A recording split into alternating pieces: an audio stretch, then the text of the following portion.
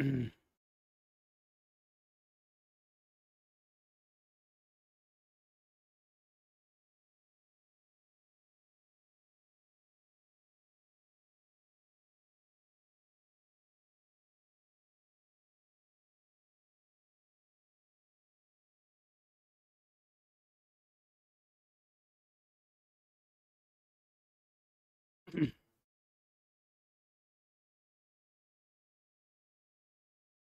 तो स्वागत है आप सभी लोगों का आन अकेडमी के let's crack UPSC, CSC, hint YouTube के चैनल पर।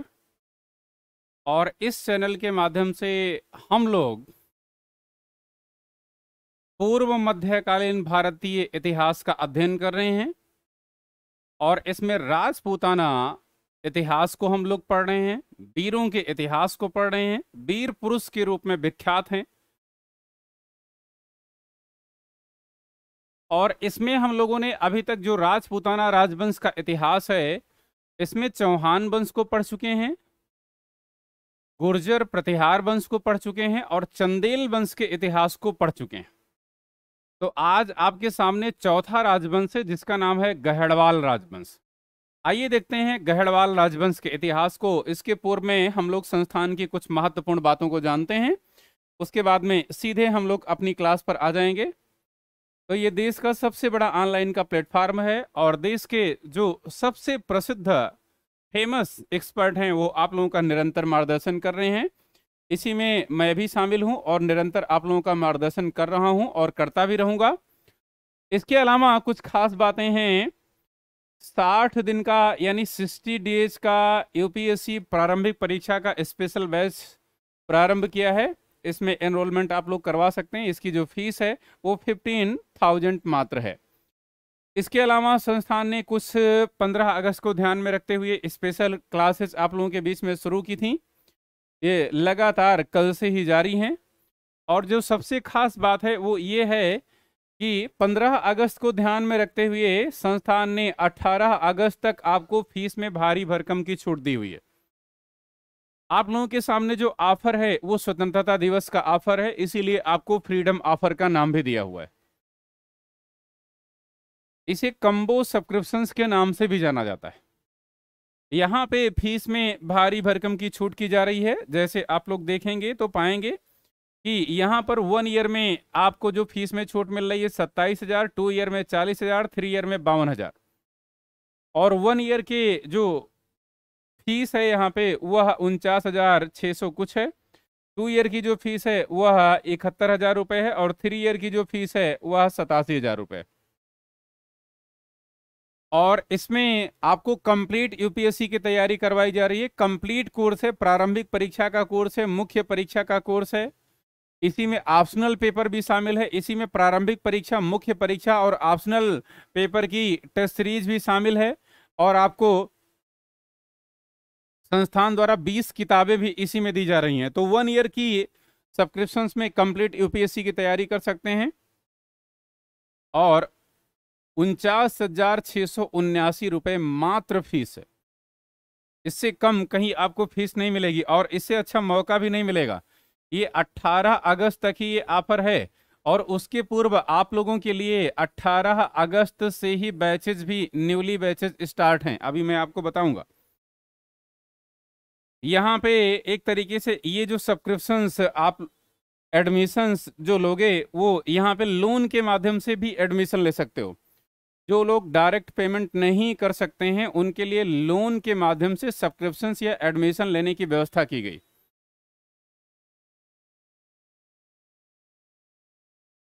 और लोन का यहाँ पे फॉर्म दिया हुआ है, और यहाँ पे कोई प्रोसेसिंग फ़ीस नहीं है लोन की, कोई भी इंटरेस्ट रेट नहीं है। दो घंटे में अप्रूवल हो जाता है, कोई भी चार्ज नहीं है। फिर भी अगर लोन लेने में कोई प्रॉब्लम आता है देन आप मुझसे कांटेक्ट कर सकते हैं, आपको लोन दिलवा दूँगा, निश्चिंत रहिए आप सभी लोग।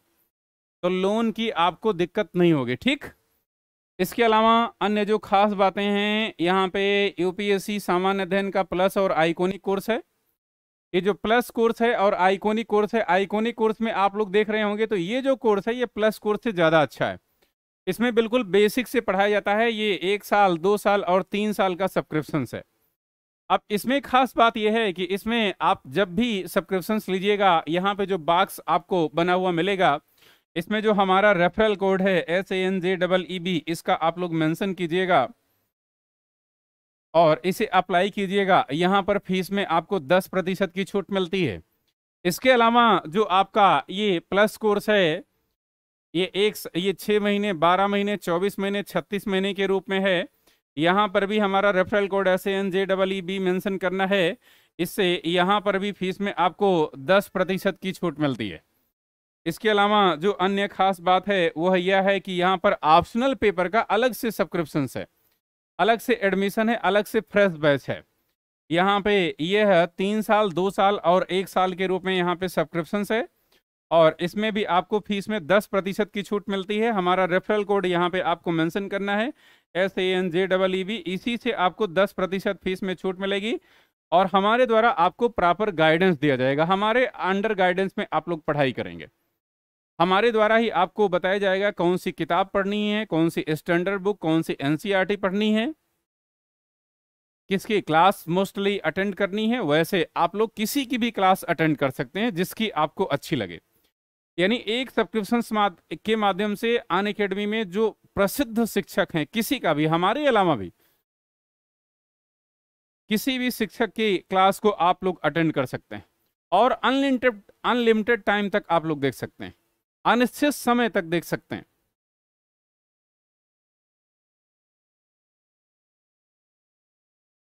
जब तक आपकी वैलिडिटी है, तब तक।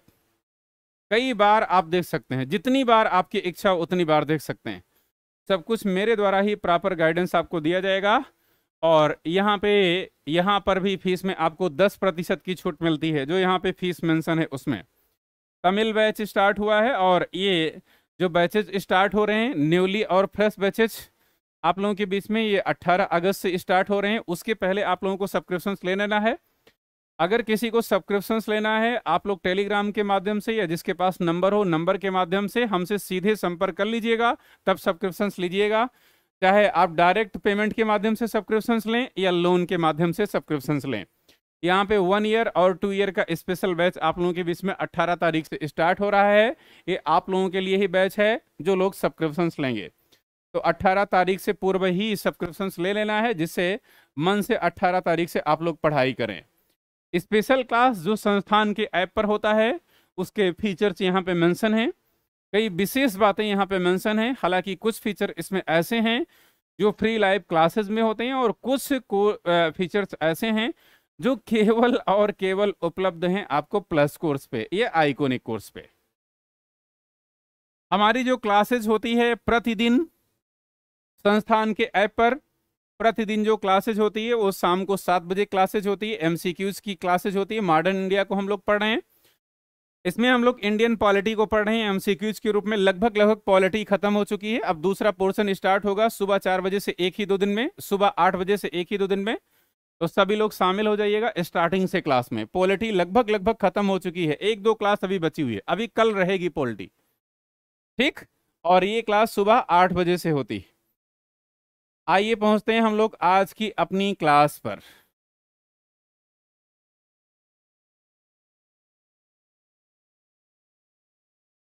तो राजपूतों के संबंध में एक बात मैं पहले आपको बताना चाहूँगा। अब आप सभी लोग तैयार हो जाइए। क्लास को एक बार शेयर ज़रूर कर लीजिए। क्लास को एक बार शेयर ज़रूर कर लीजिए, लाइक कर लीजिए। और हाँ अभी अभी ऐसा लग रहा है कि सभी लोग आए भी नहीं हैं। तो क्लास को लाइक कर लीजिए और शेयर कर लीजिए जल्दी से आप सभी लोग। हाँ अपने ग्रुप्स वगैरह में, दोस्तों के बीच में।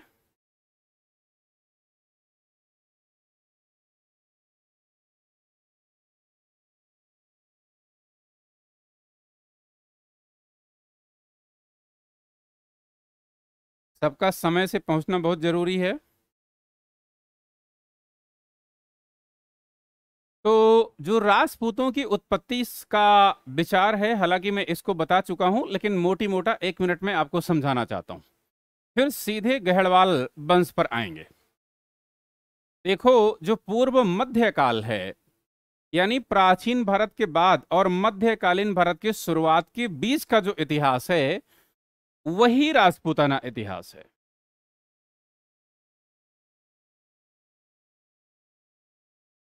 और राजपूताना इतिहास में कई राजपूत वीरों का वंश है जैसे चालुक्य हैं, परमार हैं, प्रतिहार हैं, चंदेल हैं, चौहान हैं, गहड़वाल हैं, ये राजपूताना राजवंश हैं।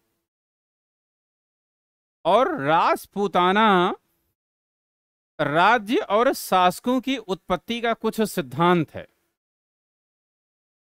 और जो उत्पत्ति का सिद्धांत है राजपूताना इतिहास का, राजपूताना राजवंश का, वह इतिहासकारों के बीच में आज भी विवादित बना हुआ है। इतिहासकारों के राजपूताना उद्भव या उत्पत्ति के इतिहास पर दो मत सामने निकल कर आते हैं। एक स्वदेशी इतिहासकारों का, यानी अपने देश के हिस्टोरिक पर्सन का और एक विदेशी या वैदेशिक इतिहासकारों का या फोरिजन हिस्टोरिक पर्सन का। अब इसमें जो स्वदेशी इतिहासकार हैं, वो ये कहते हैं कि राजपूतों की उत्पत्ति किसी स्वदेशी राजवंश से ही हुई थी।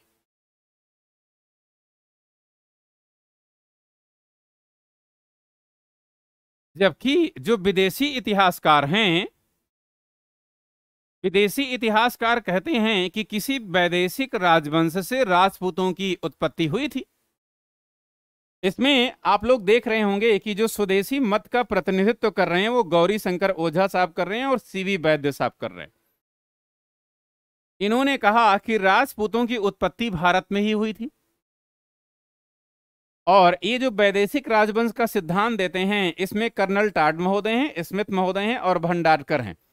हालाँकि जो भंडारकर हैं, वह भारतीय इतिहासकार हैं, लेकिन मार्क्सवादी। और इसीलिए इन्होंने राजपूतों की उत्पत्ति का वैदेशी सिद्धांत स्वीकार किया।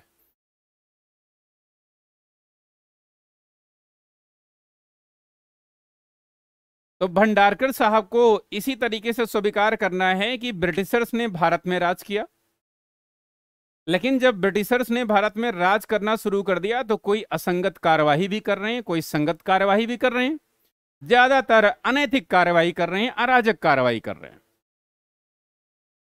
तो इस अराजक कार्रवाई की ब्रिटेन में रह रहे ब्रिटेन वासियों ने भी आलोचना की। इनको इसी परिप्रेक्ष्य में समझना है तो भारतीय। लेकिन कह रहे हैं कि राजपूत वैदेशिक संतान। और ये लोग ये मानते हैं कि जो राजपूत थे वो आपकी धरती पर आक्रमण किया था, शकों ने, कुषाणों ने आक्रमण किया था। और ये सब मध्य एशिया के लोग और इन्हीं के वंशज बता दिया है, इन तीनों लोगों ने कि राजपूत इन्हीं विदेशियों के वंशज थे। और जबकि ये स्वदेशी मत से संबंधित जो इतिहासकार हैं गौरी शंकर ओझा और सीवी वैद्य महोदय, इन्होंने एक अग्निकुंड का सिद्धांत दिया हुआ है। एक अग्निकुंड का सिद्धांत दिया हुआ है। इसी अग्नि कुंड को हवन कुंड के नाम से भी जाना जाता है। तो ये जो हवन कुंड का सिद्धांत है, इसी हवन कुंड के सिद्धांत में इन्होंने माना कि जो राजपूतों की उत्पत्ति हुई है, यह इसी हवन कुंड या अग्निकुंड से हुई है। और हमने कोड के रूप में आपको बताया था कि इस अग्नि कुंड या हवन कुंड से चार वंश के राजपूताना राजवंशों की उत्पत्ति हुई थी।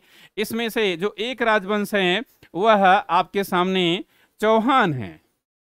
वह कौन है? वह चौहान है और एक जो है, उनका नाम है चालुक्य। और याद आ रहा होगा आप लोगों को, चाचा और पापा नामक हमारा कोड। एक में कौन है? प्रतिहार हैं और एक में जो बचे रह गए, वो परमार है। याद आ रहा होगा, चाचा, पापा। यानी इन लोगों ने जो हवन कुंड का सिद्धांत दिया या अग्निकुंड का सिद्धांत दिया, इससे चार चार राजपूताना राजवंश की उत्पत्ति हुई। इसी को हम लोग चाचा पापा कोड के माध्यम से समझते हैं, चौहान चालुक्य, चाचा पापा, प्रतिहार परमार।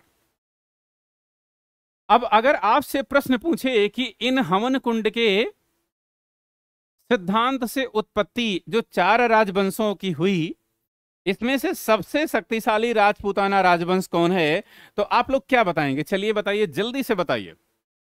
यहाँ पे पोल की सुविधा नहीं है। यहाँ पे ए बी सी डी के रूप में मान सकते हैं। और देन ऑप्शन आप लोग बता सकते हैं। बताइए, कौन सबसे शक्तिशाली है? मैं हट जाता हूँ।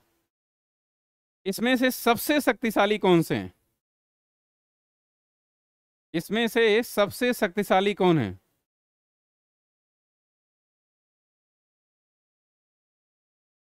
जल्दी से बताइए आप सभी लोग।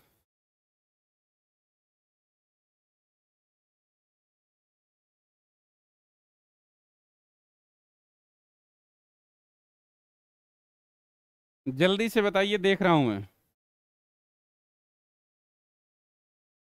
कौन है सबसे शक्तिशाली राजपूताना राजवंश के शासक? बताइए भैया, हिना खान, अंजू बाबू खान हिना, कृष्णा पटेल, सुनील कुमार, नरेंद्र, सभी लोग उत्तर बताइए। जल्दी जल्दी उत्तर बताना है। किसी को बिना उत्तर के नहीं रहना है। आसफा, रुपेश बताइए बताइए बताइए, कुछ लोग गलत बता रहे हैं, कुछ लोग सही बता रहे हैं फिफ्टी फिफ्टी का मामला चल रहा है। आज तो हंड्रेड का मामला चलना चाहिए भाई। हम्म? चौहान तो नहीं है शक्तिशाली, चलिए। चौहान तो शक्तिशाली नहीं है बाबू।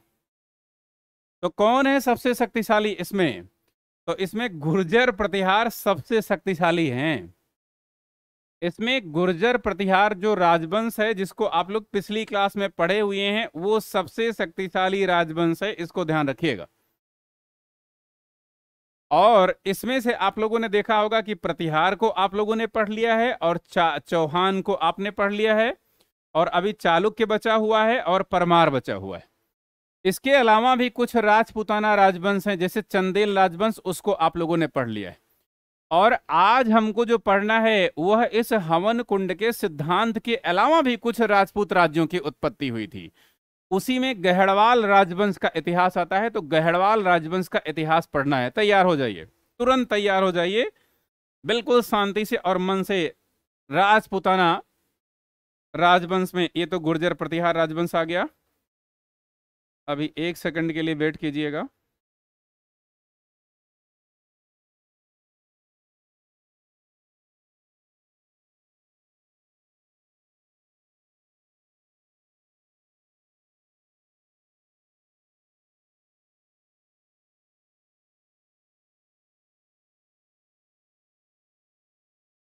गहड़वाल राजवंश। आपके सामने कौन है? गहड़वाल राजवंश आपके सामने। गहड़वाल राजवंश के इतिहास को हम लोग पढ़ेंगे।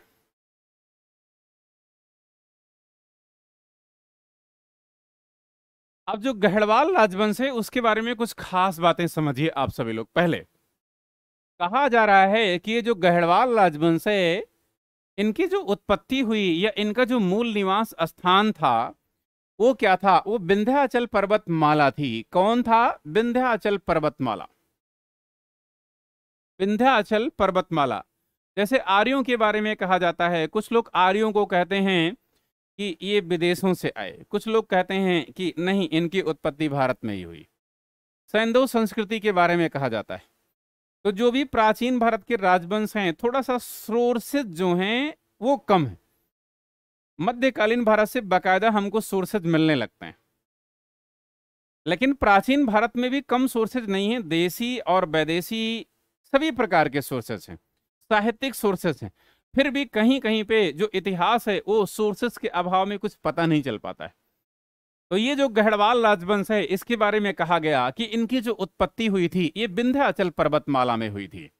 इस वंश का जो संस्थापक था, उसका नाम था चंद्रदेव। इस वंश को जिसने स्टैब्लिश किया, उसका नाम क्या था? उसका नाम था चंद्रदेव। इसके अलावा इस वंश की जो राजधानी थी, उस राजधानी का नाम क्या था? कन्नौज इस वंश की राजधानी थी। इस वंश का जो अंतिम शासक था, उसका नाम था हरिश्चंद। क्या नाम था? हरिश्चंद। इस वंश का जो सबसे ताकतवर शासक था, उसका नाम था गोविंद चंद्र गहड़वाल। दूसरी और सबसे प्रमुख बात इसमें यह कही जा रही है कि ये जो गहड़वाल वंश के राजपूत शासक थे, ये प्रतिहारों के सामंत थे। प्रतिहारों के सामंत का मतलब यह था कि गुर्जर प्रतिहार जो राजपूतों का सबसे शक्तिशाली राजवंश था, उसी के अधीन इनके प्रारंभिक शासक सेवा करते थे, उनके दरबार में रहते थे, उनके अधीन थे, यानी उनके सामंत थे। बाद में धीरे धीरे जब ये शक्तिशाली हुए तो अपने आप को स्वतंत्र कर लिया और स्वतंत्र करके अपने स्वतंत्र राजवंश की स्थापना कर ली। तो एक क्वेश्चन यहाँ से बड़ा अच्छा बनता है, एक तो स्थापना का, एक राजधानी का, एक प्रमुख शासक का, और एक ये कि ये जो गहड़वाल वंश के शासक हैं, ये किसके सामंत थे? यानी किसके अधीन पहले शासन करते थे? तो ये गुर्जर प्रतिहारों के सामंत थे, जो राजपूत इतिहास में सबसे शक्तिशाली राजवंश था, गुर्जर प्रतिहारों का।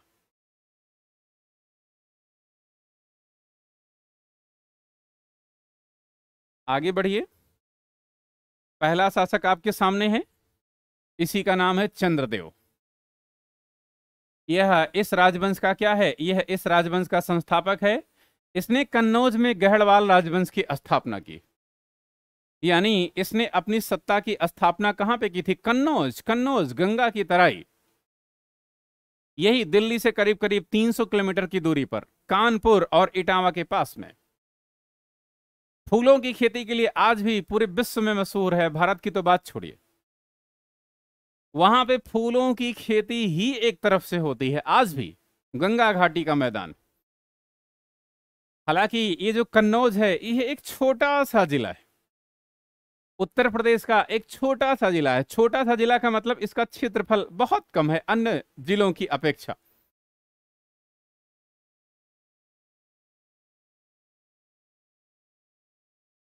प्रतिहारों के पतन के बाद गहड़वालों ने कन्नौज में, कन्नौज से लेकर बनारस तक अपनी सत्ता स्थापित कर ली थी। जब गुर्जर प्रतिहार राजवंश थोड़े से कमज़ोर हुए, उनके शासक कमज़ोर हुए तो गहड़वालों ने आक्रमण कर दिया और गुर्जर प्रतिहारों की जो राजधानी थी, जिसका नाम था कन्नौज, उस पर क्या कर लिया? कब्जा कर लिया और कब्जा करके कन्नौज को ही अपनी राजधानी बनाया। इसका मतलब प्राचीन भारत में आप लोग जिस तरीके से पाटलिपुत्र या पटना को देख रहे होंगे, जो वैभव, जो शक्ति पटना में थी, यानी पाटलिपुत्र में थी, जो केंद्र पाटलिपुत्र के रूप में शक्ति का था, राजाओं का था, वह अब उत्तर प्रदेश का कन्नौज बन चुका था।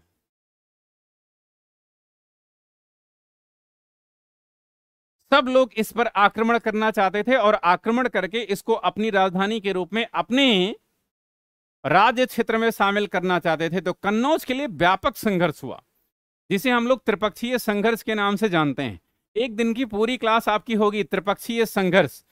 उसमें हम लोग देखेंगे कि किस तरीके से कन्नौज की सत्ता प्राप्ति के लिए ये जो पूर्वी भारत, उत्तरी भारत, दक्षिणी भारत और मध्य भारत के शासक हैं उनमें से जो तीन राजवंश हैं, उनमें कैसे सत्ता का संघर्ष होता है, किसके समय में स्टार्ट होता है, किसके समय में कन्नौज, किसकी तरफ़ जाता है, फिर पड़ला भारी होता है, दूसरी की तरफ़ आता है, और अंततोगत्वा किसकी विजय होती। इसको हम लोग पढ़ेंगे। इसका एक टॉपिक होगा। और ये मुख्य परीक्षा में भी शामिल है। इसके बाद यहाँ पे इसने गंगा यमुना के दुआब पर कलुचरी नरेश यश कर्ण को पराजित करके कब्जा कर लिया। गंगा जमुना का दुआब यही वो गंगा जमुना का दुआब है, जिसे ब्रह्मर्षि देश के नाम से जाना जाता है। और यही तो कन्नौज स्थित है। और ये अत्यंत फर्टिलाइज़र जोन है, उपजाऊ क्षेत्र है। और कन्नौज पर तो इसकी सत्ता थी ही गहड़ गढ़वालों की।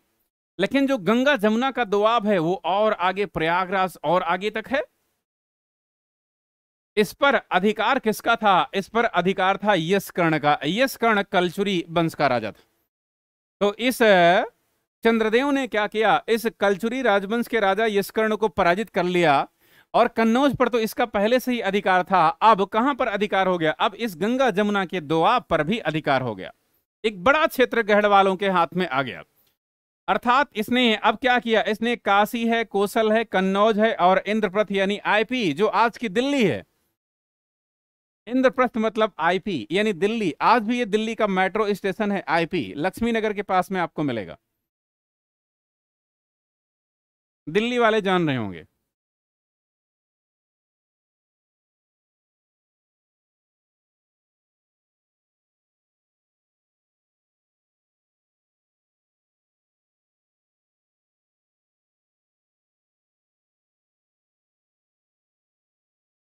एक बड़ा साम्राज्य इसने ही स्थापित कर लिया।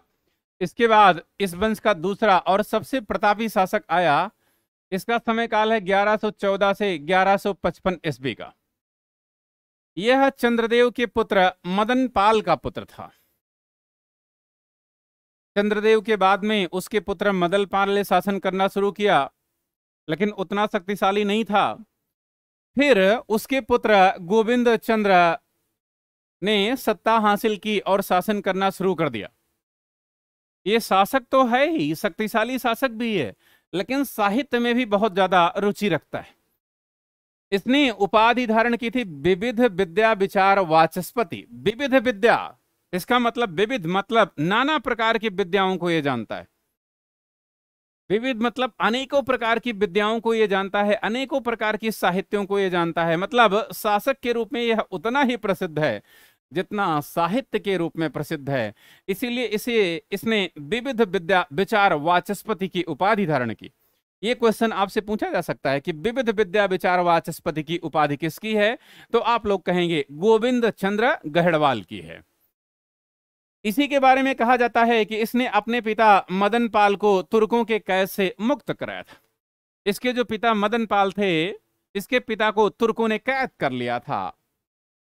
और जब तुर्कों ने कैद कर लिया था तो इसने तुर्कों से अपने पिता को मुक्त कराया था। आप सोच सकते हैं कितना बलशाली शासक होगा, कितना ताकतवर शासक होगा, ये गोविंद तंत्र इसकी पत्नी कुमार देवी थी। इसकी पत्नी कुमार देवी थी। कुमार देवी ने सारनाथ में एक लेख स्थापित करवाया था। इस गोविंद चंद्र गहड़वाल की पत्नी का नाम कुमार देवी था। और इसने सारनाथ, जो वाराणसी के पास में यह सारनाथ वाराणसी में ही है। लेकिन सारनाथ समझते रहिएगा, महात्मा बुद्ध ने यहीं पर अपना पहला उपदेश दिया था। फ़र्स्ट सरमन यहीं पर डिलीवर्ड किया था महात्मा बुद्ध ने, बौद्ध धर्म के संस्थापक ने। कहाँ पे? सारनाथ में, वाराणसी में नहीं। सारनाथ में पहला सरमन महात्मा बुद्ध ने डिलीवर्ड किया था और यहीं पर गोविंद चंद्र गहड़वाल की पत्नी कुमार देवी ने अपना एक लेख स्थापित किया था, यानी अभिलेख स्थापित किया था। ठीक? इंस्क्रिप्शन स्थापित किया था। इसके अलावा इसके बारे में जो खास बातें हैं वह यह हैं कि इसके दरबार में साहित्य का बहुत बड़ा विद्वान रहता था। बहुत बड़ा, प्रकांड विद्वान, प्रसिद्ध विद्वान लक्ष्मीधर रहता था। और इसकी जो रचना है, वो बहुत ज़्यादा महत्वपूर्ण है। एक नहीं, कम से कम दसियों बार यूपीएससी और स्टेट कमीशन में तो रेगुलर पूछता ही आता है। इसकी जो रचना है, उसका नाम है कृत्य कल्पतरु।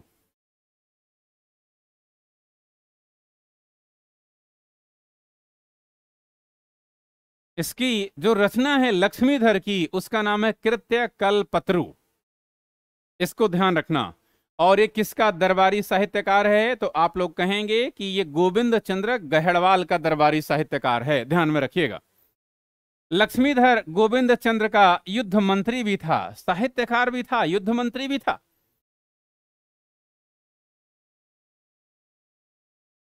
रक्षा मंत्री का दर्जा हासिल था। युद्ध मंत्री का मतलब रक्षा मंत्री का दर्जा हासिल था। अब सोचिए, ये साहित्यकार भी था और लक्ष्मीधर आपके सामने युद्ध मंत्री भी था। कितना वीर पुरुष भी था ये। कितना वीर पुरुष भी था और साहित्य के परिप्रेक्ष्य में देखिए, कितना बड़ा प्रकांड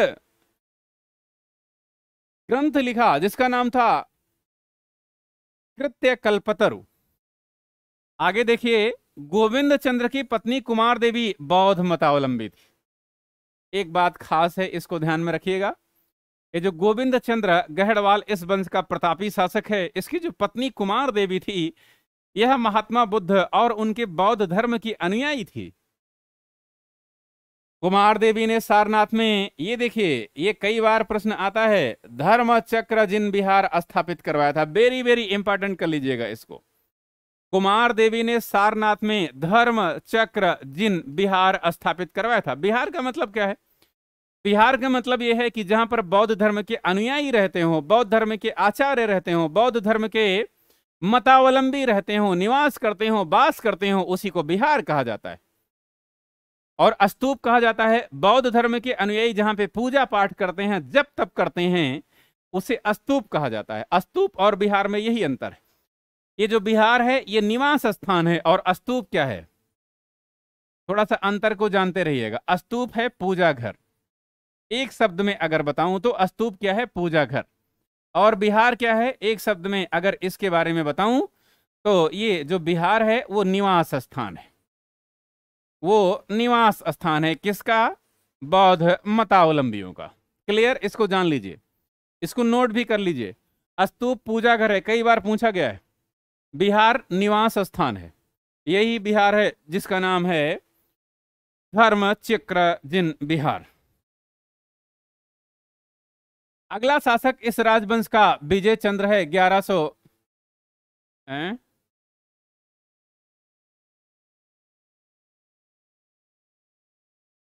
ठीक है। 1155 से 1170 का इसका समय काल है। यह गोविंद चंद्र का पुत्र है, जो इस वंश का सबसे प्रतापी शासक था। गोविंद चंद्र उसी का पुत्र आपके सामने आ रहा है विजय चंद्र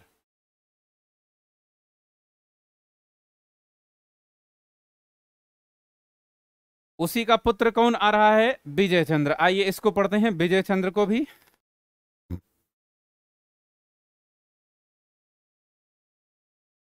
इसने सेन वंश के बंगाली शासक लक्ष्मण सेन को एक युद्ध में पराजित कर दिया था।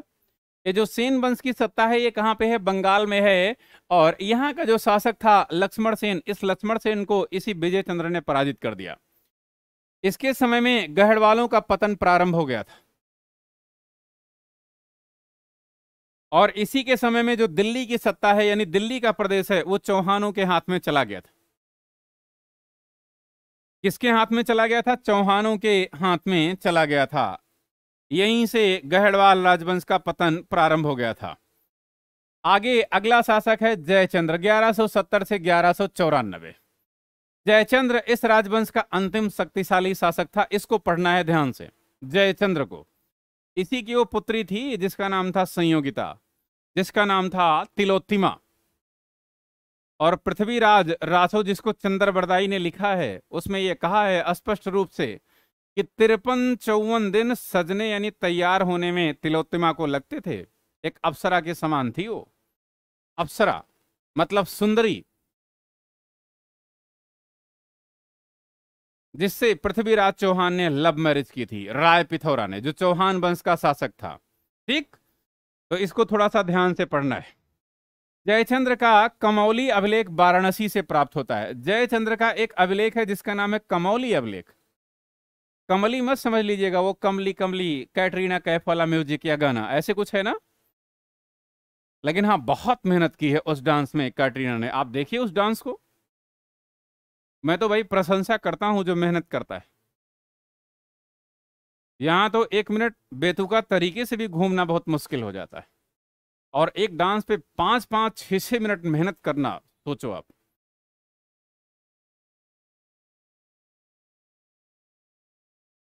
कमौली अभिलेख। संगीत के बारे में मैं कभी कभी चर्चा इसलिए कर लेता हूँ कि संगीत मेरी हावी है। आप लोगों में से कुछ लोगों की हावी होगी? तो ये जो अभिलेख मिला हुआ है, सीधे फोकस करते हैं अपने टॉपिक पर। ये कहाँ से मिला हुआ है? ये वाराणसी से मिला हुआ है। चर्चा करते रहेंगे हम लोग। इसका दिल्ली का समकालीन शासक चौहान वंशीय शासक पृथ्वीराज तृतीय था, इसी को राय पिथौरा कहा जाता था। और पृथ्वीराज तृतीय, ये राय पिथौरा का मामा था, ये जयचंद्र। क्या था? मामा था जयचंद्र। ठीक?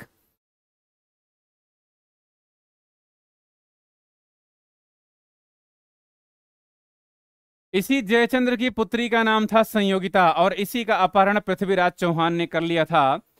जयचंद्र ने राजसूय यज्ञ भी किया था वेरी इंपॉर्टेंट ये जो जयचंद्र गहड़वाल वंश का शासक था, इसने क्या किया था? इसने राजसूय यज्ञ भी किया था। जयचंद्र ने प्रख्यात कवि श्रीहर्ष को अपने दरबार में रखा था, इनका दरबारी कवि था, इसी तरीके से पूछा जाता है। और ये जो श्रीहर्ष साहब थे दरबारी कवि के रूप में, इन्होंने एक ग्रंथ लिखा जिसका नाम था नैसद चरित।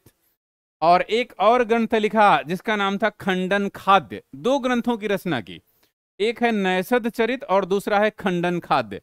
तो ये श्रीहर्ष किसका दरबारी कवि है? तो आप कहेंगे, ये गहड़वाल वंशीय शासक जयचंद्र का दरबारी कवि है, जिसकी पुत्री का नाम, जयचंद्र की पुत्री का नाम संयोगिता या तिलोत्तिमा है। अब एक इसी के समय में युद्ध हुआ था। इस युद्ध को आप लोग समझिए। इस बैटल को आप लोग समझिए। चंदावर का युद्ध। चंदावर का जो युद्ध हुआ था, वह ग्यारह सौ ईस्वी में हुआ था। एक तरफ़ ये गहड़वाल वंश का शासक जयचंद्र था और दूसरी तरफ़ ये तुर्क शासक मोहम्मद बिन मोहम्मद गोरी था। ये पराजित हो गया था और यह विजयी हो गया था इस युद्ध में। एक बात आपको बताऊँ, जब तराइन का फ़र्स्ट बैटल ग्यारह सौ ईस्वी में हुआ और पृथ्वीराज चौहान ने इस समय मोहम्मद गोरी को पराजित कर दिया। और दूसरा तराइन का युद्ध हुआ ग्यारह में तो इस मोहम्मद गोरी ने पृथ्वीराज को पराजित कर दिया था। लेकिन इस तराइन के युद्ध में जो इसका मामा था, जयचंद्र था, क्योंकि यह इसकी जो पुत्री थी, संयोगिता, उसको उठा ले गया था एक तरीके से ज़बरदस्ती। किडनैप कर लिया, अपहरण कर लिया, प्रेम विवाह कर लिया। तो ये जयचंद्र भाई कोई भी निश्चित रूप से पिता होगा तो वो थोड़ा नाराज़ तो होगा ही, उसके ऊपर क्या गुजरती है, यह व्यक्ति समझ सकता है। और ये तभी समझ सकता है जब वो पिता के रूप में हो, तभी समझ सकता है, उसका कलेजा फट जाता है। इसीलिए जब तराइन का युद्ध हुआ, पहला और द्वितीय, तब पृथ्वीराज चौहान का साथ जयचंद्र ने नहीं दिया था।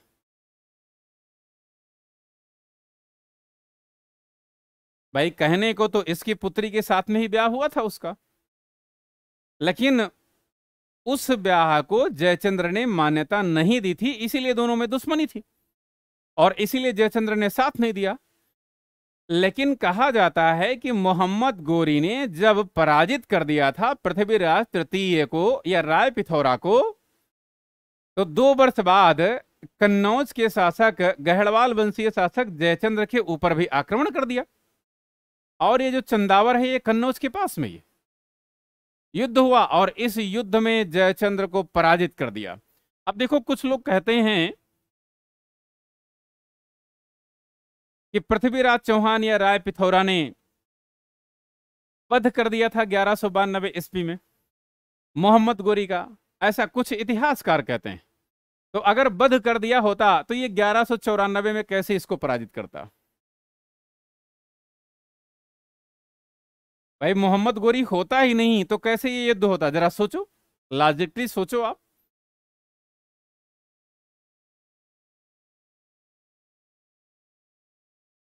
तो यह युद्ध जो हुआ था यह यमुना नदी के किनारे हुआ था। यमुना गंगा की सहायक नदी है, ये ध्यान रखिएगा। ग्यारह सौ चौरानबे में गोरी गोर प्रदेश वापस चला गया। ये देखिए, गोर प्रदेश जहाँ से आया था, वहाँ वापस चला गया। ठीक?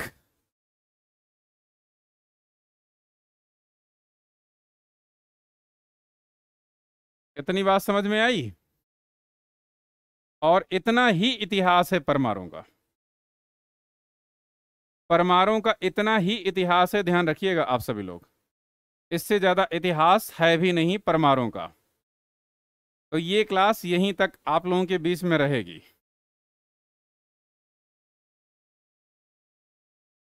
ये ऑफ़र है, फ्रीडम ऑफ़र संस्थान की तरफ़ से आप लोगों के लिए 18 अगस्त तक बैलेट है। पुनः मैं कह रहा हूँ कि अगर किसी को लोन के माध्यम से सब्सक्रिप्शन लेना है या सीधे पेमेंट के माध्यम से सब्सक्रिप्शन लेना है तो हमारे नंबर सतासी पचास, एक सौ अठासी, सात सौ इक्यानबे पे आप लोग संपर्क कर लीजिए। आपको जो भी सब्सक्रिप्शन लेना हो, एक बार बात कर लीजिए सब्सक्रिप्शन कायदे से ले लीजिए और ध्यान से पढ़िए प्रॉपर आपको गाइडेंस मिलेगा। ठीक? किसी को भी सब्सक्रिप्शन लेना है तो। ये गहड़वाल वंश का आप लोगों के बीच में इतिहास रहा और ये क्लास यहीं पर समाप्त हो जाएगी और मिलेंगे हम लोग कल सुबह और कल सुबह जो हमारी क्लास होगी, वह सुबह आठ बजे क्लास होगी। इसमें भारतीय संविधान यानी भारतीय राज्य व्यवस्था का अध्ययन हम लोग, एक नया टॉपिक होगा कल। अभी इसमें राजभाषा बचा हुआ है, बड़ा महत्वपूर्ण टॉपिक है, राजभाषा यानी राजकीय भाषा। जो काफ़ी विवादित टॉपिक है, इसका अध्ययन कल हम लोग करेंगे। एक टॉपिक और, दो टॉपिक कल हम लोग पढ़ेंगे एमसीक्यूज के रूप में सुबह आठ बजे। तो आप लोगों का न्योता है, आप लोग आ जाइएगा। और कल हम लोग, पॉलिटी की एनसीईआरटी नहीं, कल हम लोग हिस्ट्री की एनसीईआरटी पढ़ेंगे, कक्षा सात की एनसीईआरटी और दिल्ली सल्तनत की एनसीईआरटी पढ़ेंगे चार बजे की क्लास जो यूट्यूब चैनल पर रहती है, ठीक? और ये शाम को भी सात बजे जो क्लास रहती है अन अकेडमी के ऐप पर क्लास होती है, ठीक? ध्यान रखिएगा आप सभी लोग। तो आज की मुलाकात बस इतनी और स्वतंत्रता दिवस की। आप लोगों को ढेरों शुभकामनाएँ और बधाइयाँ। मन की गहराई से। दिल से बहुत सारी शुभकामनाएँ आज़ादी दिवस की। स्वतंत्रता दिवस की, पंद्रह अगस्त की। आप लोग जहाँ भी हों, कुछ ना कुछ मीठा खा के अपना मुँह मीठा ज़रूर करें, क्योंकि आज़ादी हमें बरसों के संघर्ष के बाद, फाइट के बाद मिली थी। बहुत ज़्यादा बलिदान के बाद मिली थी। लेकिन अंततोगत्वा हम इस प्रयास में सफल रहे और इसी तरीके से वर्तमान में हम लोगों के बीच में जो कोविड नामक महामारी एक दीवार के रूप में बनी हुई है, उसको भी हम लोग पराजित कर देंगे। सभी को तो हमने भगा दिया, जितने भी विदेशी है। सभी को उनके घर वापस भेज दिया है और इसको भी वापस भेज देंगे। अपने इसी आशीर्वचनों के साथ में, अपनी इस क्लास का मैं अंत कर रहा हूँ। सभी लोग सेशन को लाइक कर लें। मिलते हैं कल सुबह आठ बजे अन अकेडमी की ऐप पर क्लास पर। तो ऐप पर मिलिए फ्री लाइव क्लासेज है, सभी लोग मिलिए, सभी लोग पढ़िए, मन से पढ़िए, दिल से पढ़िए, जल्दी से आई बनिए।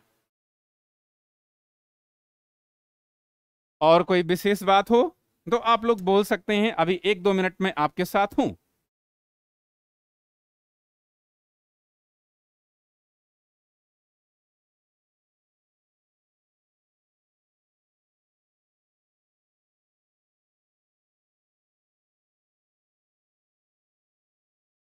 अगर कोई क्वेश्चन हो तो बोलें आप सभी लोग। सेशन को लाइक ज़रूर कर लें आप सभी लोग।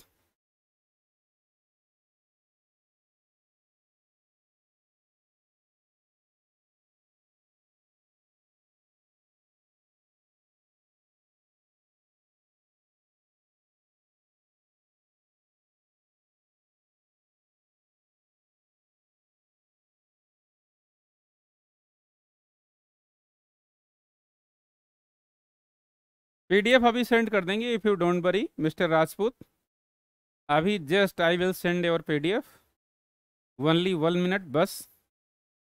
दो तीन मिनट वेट कीजिएगा पीडीएफ अभी आपके पास जाएगा हमारे टेलीग्राम चैनल पे।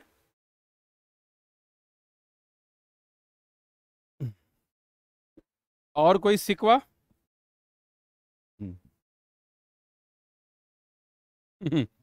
क्या योगेश? क्या बात है बाबू? और कोई क्वेश्चन और कोई शिकवा कोई शिकायत? बताइए, दिल से बताइए। आज़ादी दिवस की संध्या पर बताइए, दिल से। हाँ आशीष, आप देर में आए हो ना, इसलिए। हाँ एक ही टॉपिक था, एक ही राजवंश हमने पढ़ाया।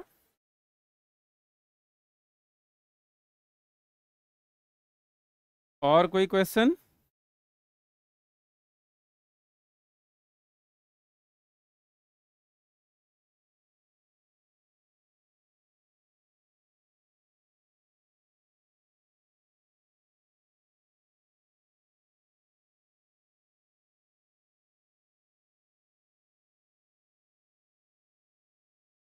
कौन सी आईडी नहीं बन रही है? हिना खान जी। कौन सी आईडी नहीं बन रही है बेटा?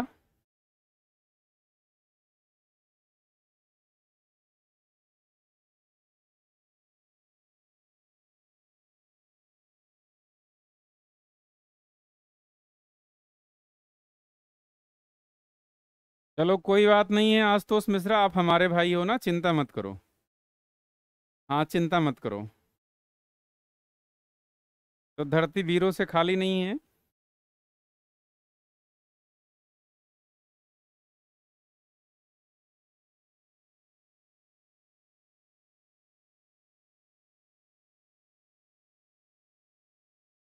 और कोई क्वेश्चन बोलो बोलो बोलो, दिल से बोलो। एनसीआरटी सेवन क्लास की तो पूरी होने दो बाबू धर्मेंद्र पांडे जी, पंडित जी। सेवन क्लास की तो पूरी हो जाने दो बाबा, नहीं तो कहेंगे कि सब लोग सेवन्थ नहीं पूरी हुई और सिक्स की स्टार्ट कर दिया। तो मुझे याद है, दीपक की बात भी याद है आपकी बात भी याद है।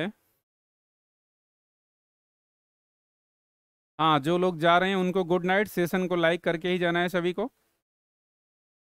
और कोई क्वेश्चन बिल्कुल बिल्कुल बिल्कुल ईश्वरवाद बिल्कुल, आप मेहनत करेंगे तो ईश्वर आशीर्वाद देगा ही आपको। और हमारा तो हमेशा आशीर्वाद आप लोगों के ऊपर बना है। ईश्वर से भी मैं कामना करता हूँ कि जल्दी से आप लोगों को आगे बढ़ाए। आप लोग मेहनत करें। अन अकेडमी कहाँ पर बेटा? अन अकेडमी ऐप पर क्या? ऐप डाउनलोड कीजिए आप।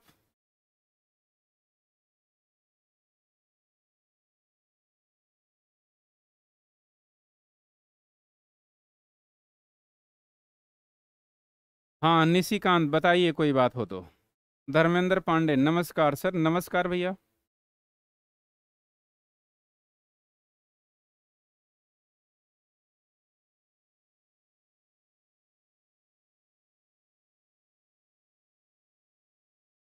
अच्छा दक्षिण भारत दक्षिण भारत बस राजपूताना खत्म हो, तुरंत दक्षिण भारत शुरू हो जाएगा।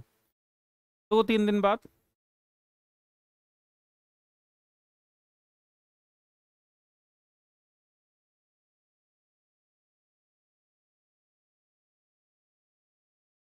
और कोई क्वेश्चन चलिए फिर सभी को शुभ रात्रि, मिलते हैं कल सुबह आठ बजे। हाँ थोड़ा एक आध दो बार रिवीजन कीजिए, घंटे, आधे घंटे, भोजन कीजिए, आराम कीजिए, मिलते हैं सुबह आठ बजे। और पीडीएफ टेलीग्राम चैनल पे अभी सेंड कर देंगे। तो किसी को चिंता नहीं करनी है, ठीक? Okay thank you good night सभी को हमारी तरफ़ से। शुक्रिया बहुत बहुत